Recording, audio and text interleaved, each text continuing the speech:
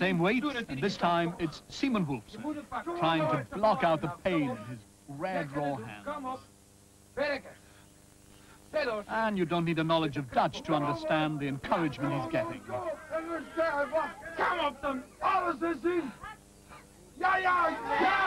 And it's obviously inspired him. Success there for Simon Wolfson.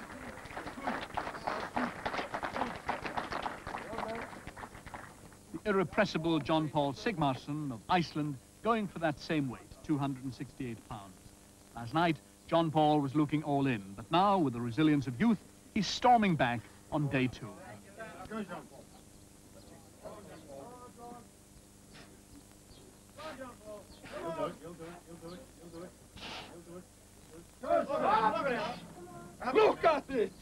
Well, we are looking at it, and it's going aloft. I'm from Iceland, he says, and plenty of rocks to chuck about up there. No tree trunks, but plenty of rocks. Now, Tom Magee, Not really happy with this sort of event. He likes to work out a method and practice it. But he looks as if he's going to use much the same sort of technique that failed for Geoff Capes.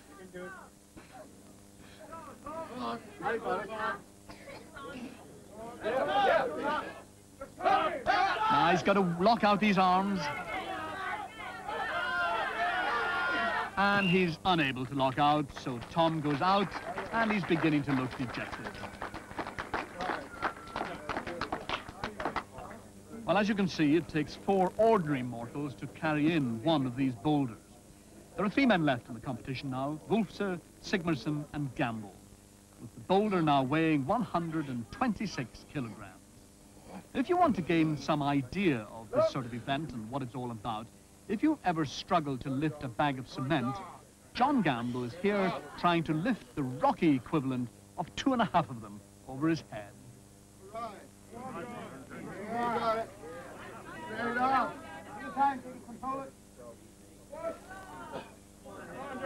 Come on, John.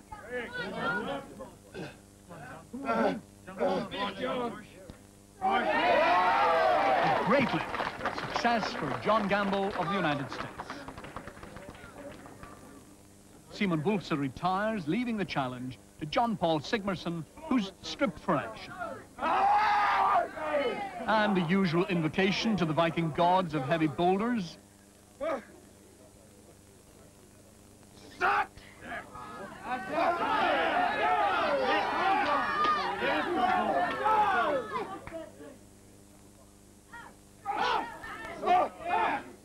Anyone got an aspirin? But not to be. Histrionic despair from John Paul, and that means victory for the quiet man from Virginia. John Gamble collecting his maximum eight points. Simon Wulfse and John Paul Sigmarsson collect six and a half points each for that equal second spot. And with five events down and three to go, Simon Wulfse of Holland is still top of the board with 31 and a half points. Tom Magee, the man who was runner-up last year, is there again at this stage with 28 and a half. Geoff Capes just one point behind him. Well, there's no chance of a Scottish Highlander like myself feeling homesick in a country which looks so much like home. And this next event certainly compounds that. It's one of the classics of the Highland Games circuit, the 56-pound weight over the bar. The big difference here is that in New Zealand, there's the lake behind us, which means that every throw will end with a big, big splash.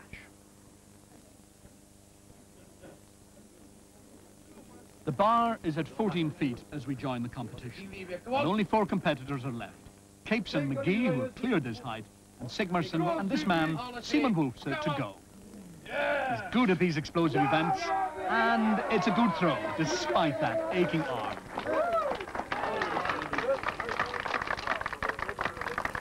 Now, Sigmarsson. In theory, this event should favor the taller men with the long arms and the maximum pendulum effect. But it also needs good control and explosive power.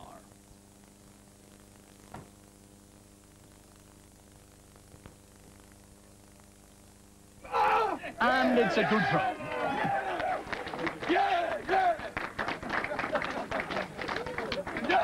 And one in the eye for us. While Geoff Capes looking brooding and determined, as Sigmarsson and Wulfse had to settle for sharing joint third place. The battle is now on between him Tom Magee. With a bar at 15 feet, Big Tom is custom built for this job. Oh, yeah! Six feet, four and a half inches tall, methodical and competitive, and he's going for it.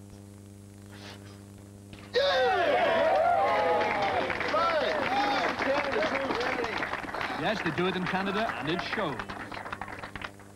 Now, Geoff Capes usually does this wearing a kilt in places like Cowal and Braemar. The man from Lincolnshire is now a Highland Games specialist, very familiar with the demands of this event. And just look at that. So the shootout between Britain's Geoff Capes and Canada's Tom Magee goes on. The bar is now being raised to 15 and a half feet, and you can read what you will into the looks that they're exchanging. Tom Magee steps up now to make his bid. The man from British Columbia has lost that dejected look as he fights it out to the finish.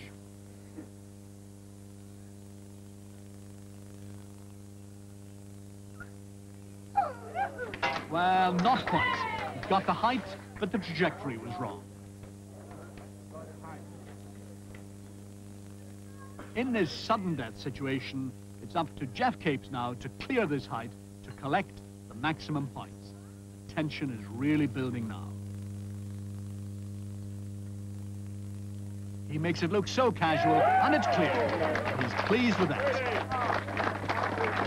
Capes holds off the challenge of Magee to collect his eight points. Magee collects a valuable seven. Wulfse and Sigmarsson share the third spot, five and a half points each. On the overall scoreboard with 37 points, Simon Wulfse of Holland at the top. But only five points cover the first four places. So this is really boiling up with Capes, Magee and Sigmarsson all going to be in at death with Wulfse. A controversial event this. None of the competitors like the look of this apparatus at all. It's a very difficult technique to master, but Geoff Capes here is really going to give it a go.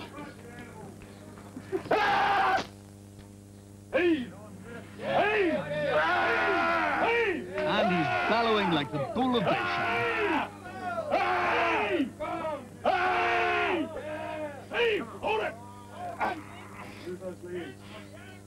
I think he prefers nylon to wool, don't you? Oh, crap! Use those legs! Legs! Six feet nine and a half, he raised the bale. A great effort there.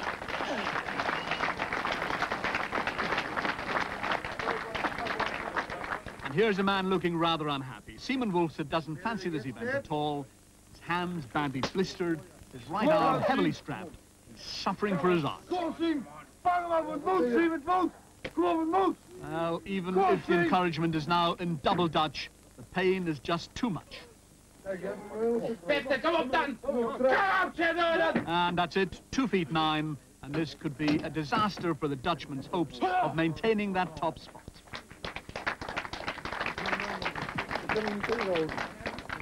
Well, this fellow should know a bit about wool. He's Alan Hallberg of New Zealand. He's a big chap, but he's using this tug-of-war anchorman technique, and that's a point of no return. It's exactly the same height each time because he's not pulling the rope hand over hand. Come on! Come on, Al!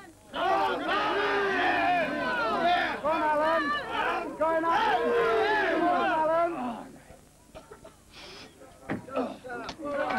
And he decides that's quite enough of that.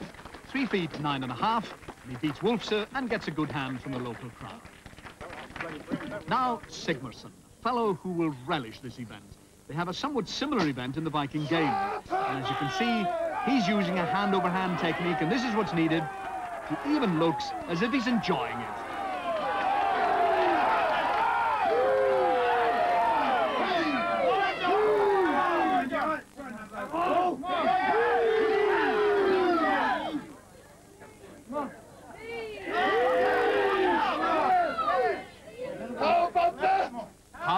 effort indeed. Great effort.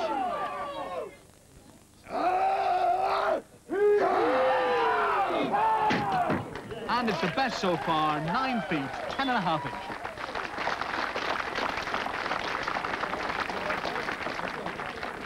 The next competitor is Tom Magee, in third place overall, and it looks as if he's offering up a few words of prayer. After his poor showing in the Fergus Walk, he told me he was worried by the grip event events.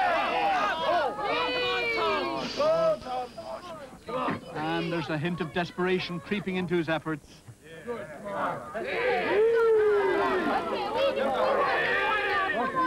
Nancy says we need this one, and indeed he does need it to stay in contention.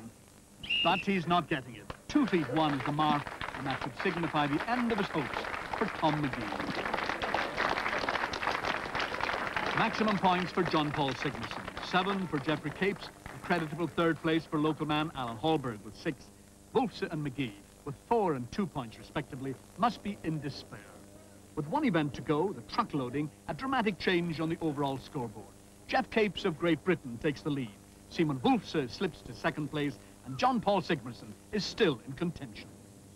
With me now, two of the men who are within one event of the proud title of the world's strongest man, John Paul Sigmarsson of Iceland and Geoffrey Capes of England. Geoffrey, how do you feel at this moment when it's all so very close in this last event? Uh, one of the nice things about it first is that the Europeans are one, two, three at the moment. Not just that we're in a position of winning. Now, what about this young fellow here, John Paul Sigmarsson? He really is something, isn't he?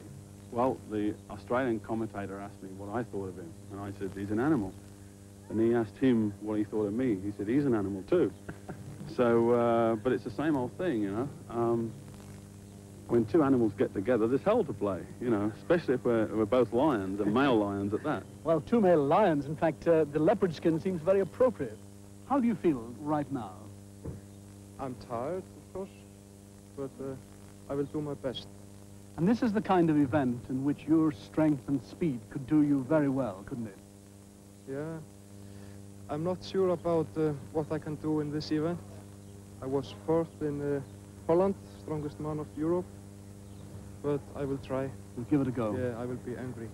Geoff, the very first words you said in this program were, in the world, you've been fourth, you've been third, you've been second, and now maybe it's your turn to be first. Do you think it is? Well, I'm certainly going to try. I've got a lot of things to prove.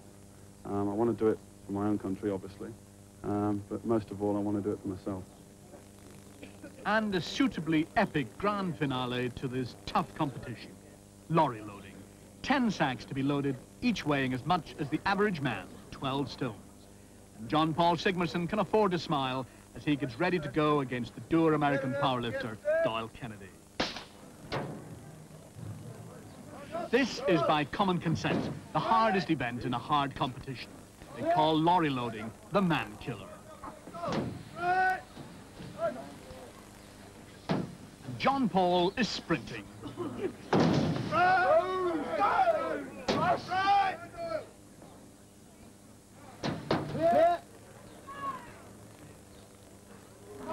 Well, as you can see, the refinement of cruelty that was added to this event in the European heat in Holland is here again. Flour in the bags, very fine flour that gets into the competitors' breathing and can stop them dead in their tracks. And it's done just that to Doyle Kenady. But not this man, John Paul Sigmarsson.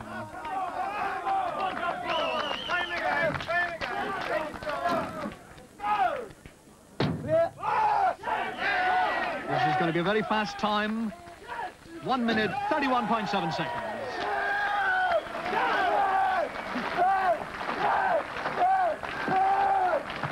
Do you get the feeling he's moderately pleased with that performance?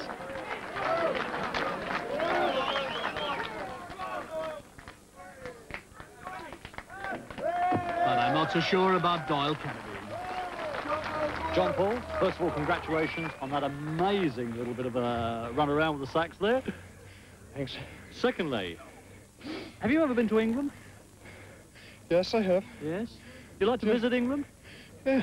Well, why I'll tell you something.